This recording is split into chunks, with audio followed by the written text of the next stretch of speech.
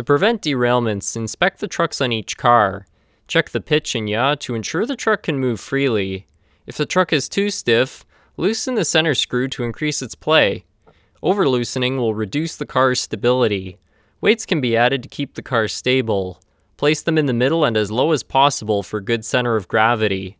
Check the gauge of each wheel and make any needed adjustments. If a gauge is not available, compare it to other pieces of equipment.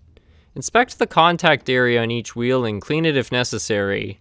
On a level piece of track, inspect the coupler height with a gauge. If one is not available, compare it to other pieces of equipment. Make sure the coupler moves fully left, right, and that the air hose sits above the rail. If needed, the hose can be bent to clear switches.